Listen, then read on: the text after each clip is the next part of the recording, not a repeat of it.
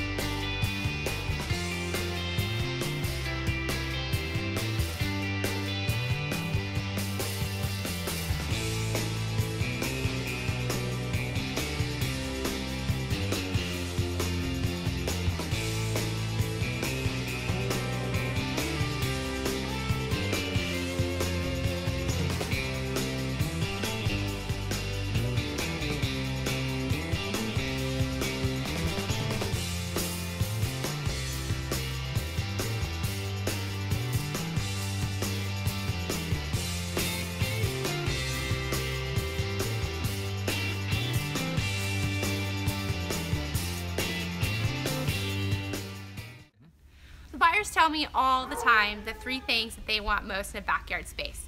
Privacy, patio, and grass. This has all three. I think you're gonna really like this space as well as all the interior.